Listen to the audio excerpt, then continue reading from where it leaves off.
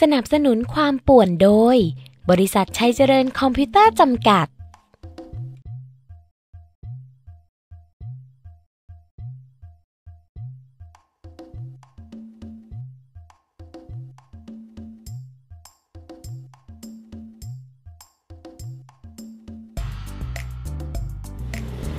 สวัสดีค่ะ คุณผู้ชมคะต้อนรับคุณผู้ชมเข้าสู่รายการผักผู้ป่วนชวนกินค่ะ สัปดาห์นี้กลับมาพบกันแล้วนะคะ แล้วว่าพิเศษสุดสำหรับสัปดาห์นี้ค่ะบุ้งพาสาวสวยคนหนึงมาเป็นเกสสำหรับเทปนี้ด้วยนะคะ และเทปนี้ค่ะ พาคุณผู้ชมทุกท่านมาอยู่ที่ร้านคุณนิ้งอาหารเวียดนามนั่นเองสำหรับใครที่ชอบอาหารเวียดนามนะคะ เทปนี้อย่าพลาด เพราะว่าเมนูเนี่ยเยอะมากเต็มโต๊ะเลยค่ะ เดี๋ยวเราเข้าไปด้านในกันเลยดีกว่านะคะ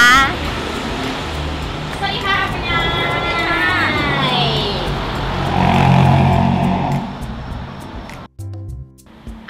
ผู้ชมตอนนี้พุ่งพาคุณผู้ชมนะคะ มาอยู่ในร้านแล้วล่ะค่ะ คุณนิ้งอาหารเวียดนามนะคะ รับรองว่าวันนี้นะคะ เมนูเยอะมากคุยกับพี่หนิงแล้วพี่หนิงจัดให้ทุกเมนูที่มีในร้านเลยค่ะคุณผู้ชม เดี๋ยวเราไปดูหน้าตาของอาหารที่เนรมิตมาอยู่บนโต๊ะนี้ปึ้งพร้อมกันเลยนะคะ เป็นยังไงบ้างคะคุณผู้ชม เต็มโต๊ะขนาดนี้บอกแล้วนะคะว่าพี่หนิงจัดให้เต็มโต๊ะเลยค่ะกับอาหารเวียดนามที่นี่คุณหนิงอาหารเวียดนามนั่นเองค่ะ และที่เห็นอยู่บนโต๊ะนี้นะคะ ไม่ใช่แค่อาหารเช้าแบบลุงว่านะ อาหารกลางวันอาหารเย็นอยู่ในนี้หมดเลยค่ะ อิ่มท้องแน่นอนนะคะ เอาล่ะ แต่วันนี้นะคะ บุ้งไม่ได้มาแค่คนเดียวแน่นอนนะคะ วันนี้เรามีเกสแสนสวยเขาบอกว่าชอบอาหารเวียดนามหลงไหลมากๆ เป็นพิเศษเลย เดี๋ยวไปรู้จักกับน้องสาวคนสวยที่มาเป็นเกสให้สำหรับผักบุ้งป่วนชวนกินวันนี้ ขอเสียงปรบมือต้อนรับน้องเฟิร์นค่ะ สวัสดีค่ะน้องเฟิร์นนั่งเลย นี่วันนี้มาขโมยซีนพี่เลยนะคะ เพราะว่า สวยกว่าพี่เยอะนะคะ วันนี้น้องเฟิร์นสวยแล้ว แต่ว่าบอกพี่ว่าชอบอาหารเวียดนามด้วยใช่เพราะอะไรคะน้องเฟิร์นเพราะว่ามันเป็นแบบเอ่อรสชาติมันจะแปลกกว่าอาหารไทยหน่อยนึงคือแบบอาหารมันจะรสชาติคือแบบมันจะ soft กว่าแล้วก็อีกอย่างหนึ่งอาหารเวียดนามเป็นอาหารรักสุขภาพด้วยค่ะพี่เนาะมีผักเยเออะอๆใช่ค่ะ ดูหุ่นน้อง นะ เราต้องเปลี่ยนพฤติกรรมการกินแล้วล่ะค่ะใช่ค่ะณผู้ชมเอาละค่ะ เดี๋ยวเราสองคนจะไปชิมพร้อม ๆ กันนะคะ และที่สำคัญคนสำคัญประจำร้านก็ต้องมานั่งอยู่ตรงนี้กับเราด้วย เดี๋ยวช่วงหน้าไปเจอกับเจ้าของร้านใจดีกันเลยค่ะและตอนนี้นะคะบุ้งพาคุณผู้ชมทุกท่านค่ะมาอยู่กับเจ้าของร้านคุณนิงอาหารเวียดนามแล้วจะเป็นใครไปไม่ได้เลยค่ะ พี่นิงนั่นเองสวัสดีค่ะพี่นิงค่ะ วันนี้ต้องมารบกวนพี่นิงหน่อยนะคะสำหรับอาหารเวียดนามเต็มโต๊ะขนาดนี้ค่ะ ถ้าเกิดว่าจะทานแต่ละอย่างเนี่ยต้องให้พี่หนิงช่วยแนะนำแล้วแหละค่ะว่าแต่ละอย่างเนี่ยมีเมนูชื่อว่าอะไรบ้างแล้วก็เด็ดๆของร้านพี่หนิงเนี่ยอยากจะโชว์เมนูไหนบ้างคะพี่หนิงคะแนะนำกันเลยก็ถ้าตอนเช้ามาเบาๆก็จะเป็นไข่กระทะไข่กระทะขนมปังอย่างนี้ถ้านะคะชอบกาแฟก็จะเป็นผู้ใหญ่หน่อยก็จะเป็นกาแฟนี่อันนี้คือกาแฟโบราณ โบราณเลยนะคะ ก็จะใส่กาแฟใส่นมมาแบบนี้เคยกินเปล่าน้องน้องเฟิร์นเคยกินกาแฟแบบนี้ไหมเคยค่ะเคยค่ะ แต่ก็จะเป็นแบบโบราณโบราณโบราณโบราณ เนาะ ถ้าเป็นเด็กก็จะเป็นพวกเมโลอีไมโลแล้วแต่ว่าจะกินค่ะ แล้วก็จะมาเป็นพวกต้มเส้น ต้มเส้น ถ้าถ้าคนทางอีสานเขาจะเรียกแกงเส้น นี่นะคะใช่เส้นก็จะใช้เป็นวุ้นเส้นวุ้นเส้นใส่ไก่ฉีกมีใส่ไก่ฉีกฉีกไก่อย่างนี้นะคะอ๋อมีเลือดไก่ก็เรียกว่าเป็นมื้อเช้าทานได้เลยใช่นะคะแล้วก็จะเป็นก๋วยจั๊บก๋วยจั๊บก๋วยจั๊บก๋วยจั๊บก็จะเป็นเส้นนี่ค่ะเส้นเป็นเส้นแบบนี้เหรอะคะใช่ แล้วอย่างนี้เราเหมือนเหมือนเส้นถ้าถ้าเกิดทางนู้นเรียกก็จะเป็นข้าวเปียกข้าวข้าวเปียกเปียกถูกต้องอย่างนี้นะคะน้องเฟิร์นเราต้องชิมน้ำบ้างแล้วล่ะคุณน่าจะอร่อยเข้มข้นมากอืมอันนี้อันนี้อันนี้อันนี้ อันนี้ต้มเส้นใช่ไหมคะใช่ค่ะน้ำนี่น้ำถ้าเกิดคล้ายๆกับตุ๋นตุ๋นเนาะเออเหมือนตุ๋นอย่างแล้เงี้วยถ้าเราก็ต้องการเปรี้ยวเผ็ดเราก็เติมได้คล้ายๆก๋วยเตี๋ยวค่ะแล้วก็จะถ้าเป็นก๋วยจั๊บก็จะปรุงเหมือนกันตุ๋นได้เหมือนกันใช่ค่ะ ก็จะมาเป็นรสชาติกลางๆมาก่อนนะถ้าเราคนไหนชอบจัดก็ใส่พริกพริกเราก็จะเป็นพวกพริกผัดค่ะหอมๆแล้วก็คือจะทำให้แบบแซ่บขึ้นมาค่ะ แล้วร้านพี่หนิงเนี่ยเกิดขึ้นได้ยังไงอะคะก็คือรุ่นตั้งแต่รุ่นคุณยายยายคุณยายแล้วมาเป็นคุณแม่ค่ะค่ะแล้วก็มาเปิดก็จะขายตั้งแต่พวกโจ๊กกับเส้นโจ๊กจับเส้นคุณผู้ชมมาทานได้ที่นี่ ลาสสิกมากค่ะ เพราะว่าคุณยายเปิดอยู่ที่ขอนแก่นใช่เป็นร้านดั้งเดิมมาก ใช่ค่ะจนมาเปิดที่อุตรดิตถ์ก็จะเป็นพี่หนิงมาสืบทอดนะคะ ใช่ค่ะแล้วเมนูไหนอีกคะพี่หนิงคะแนะนำหนูหน่อย ก็จะเป็นเช้าเช้าๆปักหม้อปักหม้อนี่ก็คือมีเฟิร์นต้องลองมีเฟิร์นต้องลองใช่ลองลองมีแป้งใช่แล้วก็มีหมูข้างในก็เป็นไส้หมูกับผักใช่ใช่ไหมคะแล้วก็สามารถกินกับสลัดอืมผักกับอาสหารลัรัดกสุขภาพเลยค่ะ อืม อาหารเวียดนามเพส่ราะวนว่ามากทางเขาจะนี้เน้นทา ผักด้วยเนาะหนึ่งจานมีเหมือนข้าวเช้าหนึ่งจานอ้าวน้องเฟิร์นชิมวันนี้เรามาชิมน้องเฟิร์นบอกว่าเฟิร์นชอบอาหารเวียดนามนะคะวันนี้เราพาคนสวยมาชิมอาหารเวียดนามแต่ถ้าชอบเปรี้ยวเราก็บีบนะคะค่ะอย่างนี้ให้น้องเฟิร์นมากับพี่บุ้งซะอีกสิบเทปนี่ เราไม่รับประกันความอวบนะอ่านะคะข้างในจะเป็นผักผักกับหมูนะคะอ่าจิ้มผัดกั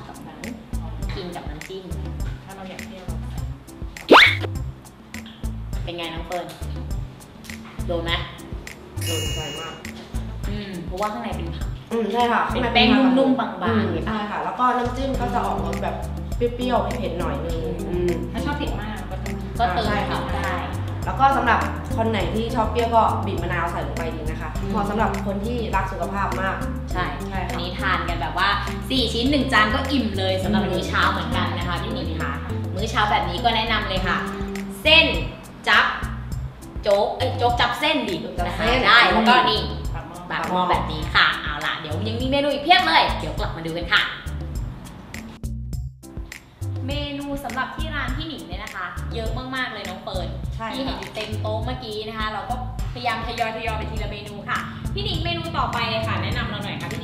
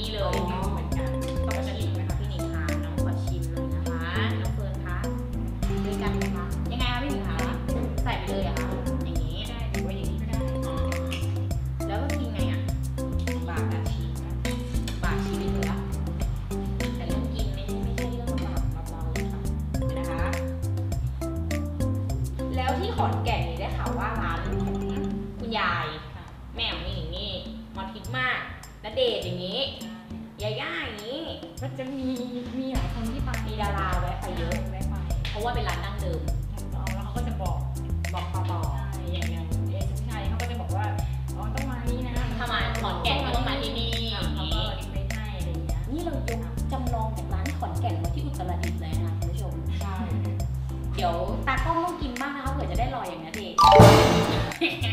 เอาละค่ะชิมน้องเฟิร์นเอาเต็มปากเต็มคำเลยต้องใช่ของจริงต้องทำดีไอ้อืม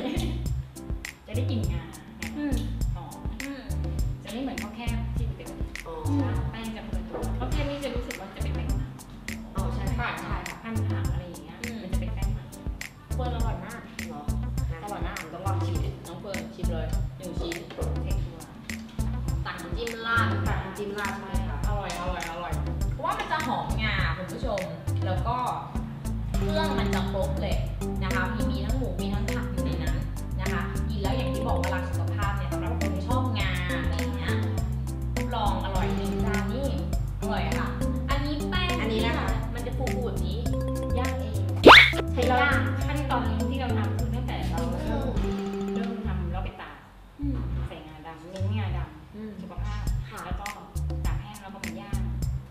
ที่นู่นเขาก็จะนิยมย่างเพราะมันจะหอมหอมแต่สามารถเอาไปทอดได้กลิ่นย่างทอดก็จะรสชาติหนึงนะอืมค่ะเอาไปทอดอร่อยเนาะ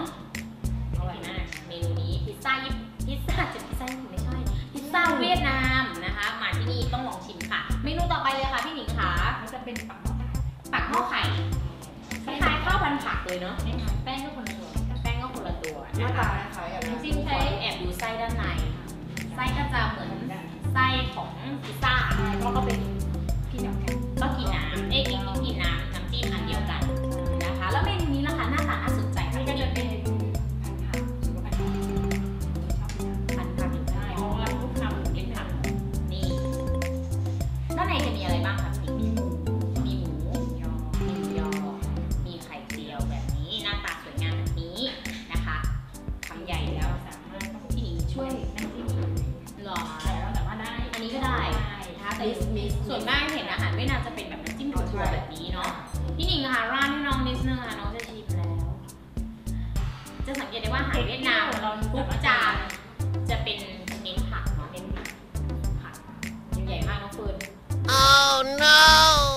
ถึงจะใหญ่ยังไงก็ไม่เกินความสามารถของพี่บุ้ง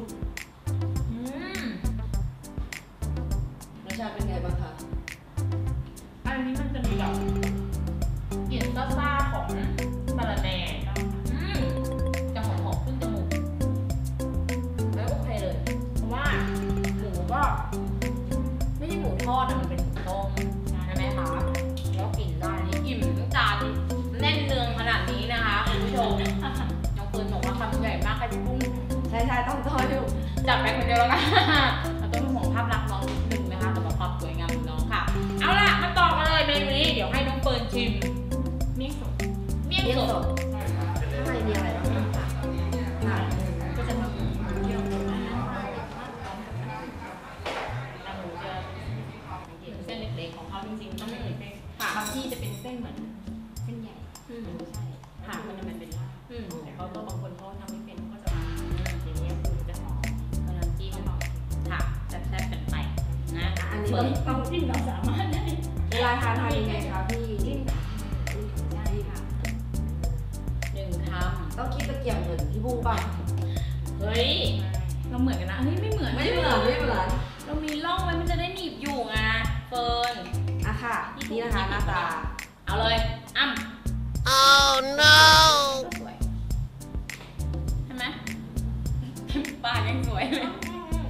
ร่อยไหม อร่อยสิก็สุขภาพขนาดนี้จะเดี๋ได้ยวกลิ่นของที่เราเปิดตอนนี้อันนี้คือพูดไม่ได้เต็มปากนะให้บอกเองว่าข้างในมันจะอืมได้อีกรสชาติหนึ่งถึงจะเป็นผักเหมือนกันแต่มันจะก็คนละแบบ เหมือนเหมือนมีมีสารแหน่ข้างในหรือเปล่าคะหรือเปล่าใช่ค่ะมันจะมีสารแหน่เพราะว่ามันหอมมากเลยกลิ่นขึ้นมาเลย แล้วก็เวลากินข้างในแบบมันจะ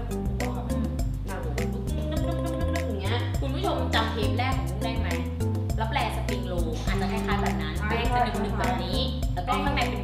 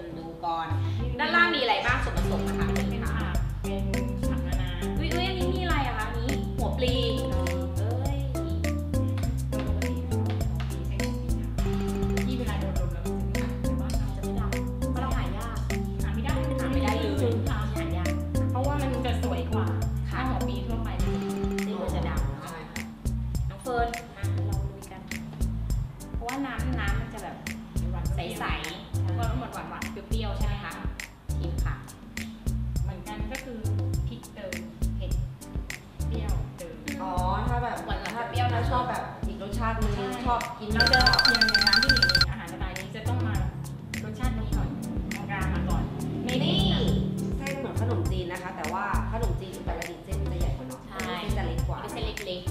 ริงค่ะๆอร่อยค่ะ ทานได้หนึ่งจานเยี่ยมเลยนะคะ กับขนมจีนทรงเครื่องหรือบีบุนบุนบีเออเข้าไปค่ะเอ่มเฟิร์นครับยังไม่หมด เออยังมีอีกค่ะ ร้านพี่หนิงเมนูเยอะมากค่ะคุณผู้ชมคะ อีก 2 เมนูตรงนี้พี่หนิงแนะนำหน่อยค่ะคืออะไรคะค่ะอันนี้คือเมี่ยงทอด เมี่ยงทอด แล้วอันเนี้ยหน้าตามันก็คล้ายๆกัน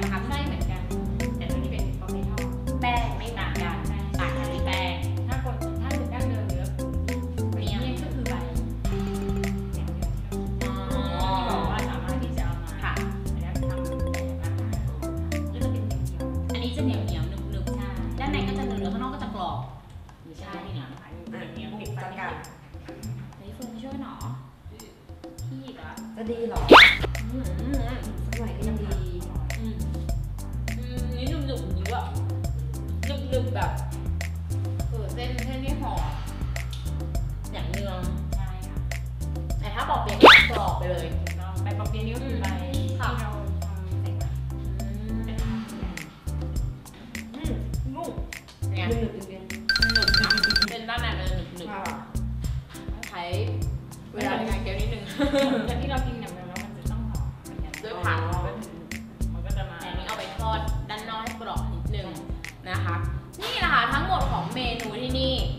ว่ายังไม่หมดนะยังที่เห็นเยอะขนาดนี้เนี่ย เมนูที่ร้านพี่หนิงเนี่ยยังมีเพียบเลยสำหรับเมนูอาหารเวียดนาม ถ้าเกิดว่าใครชอบ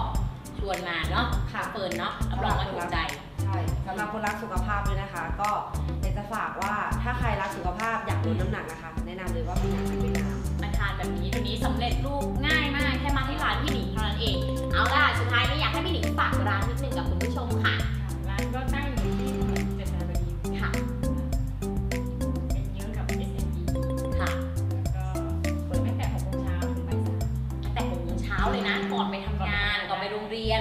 แม่มาขายกระทะขนมปังเวียดนามก็ได้ กาแฟก็มีใช่กลางวันก็มาทานเป็นปอเปี๊ยะเป็นอืมอย่างคุกก็มี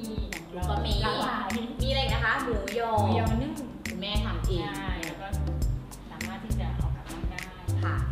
เส้นก๋วยจั๊บเส้นก๋วยจั๊บที่เรายังไม่ทำการส่งหมายถึงดิบตัวดิบค่ะก็สามารถมาซื้อกลับไปทำที่บ้านได้ถ้าทำดิบอืมค่ะมาได้ง่ายๆเลยค่ะ ก่อนถึงสี่แยกอินทนานี่ ข้างร้านอิวอิวช็อปนี่ถ้าเกิดว่าใครมาช้อปปิ้งเสื้อผ้าแบบว่าอิวอิวท่านี้ติดกันเลยค่ะร้านพี่หนิง ให้พี่หนิงฝากเบอร์โทรแล้วก็ในส่วนของการวางจองโต๊ะเผื่อว่าใครแบบจะมามื้อเที่ยง